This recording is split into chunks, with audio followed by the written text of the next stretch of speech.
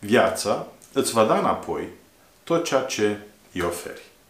Fie că e vorba de acțiuni, de gânduri, de cuvinte, de emoții.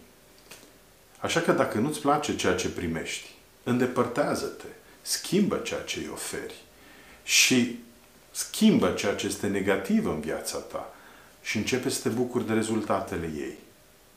Amintește-ți că viața ta este o reflexie a ceea ce îi oferi.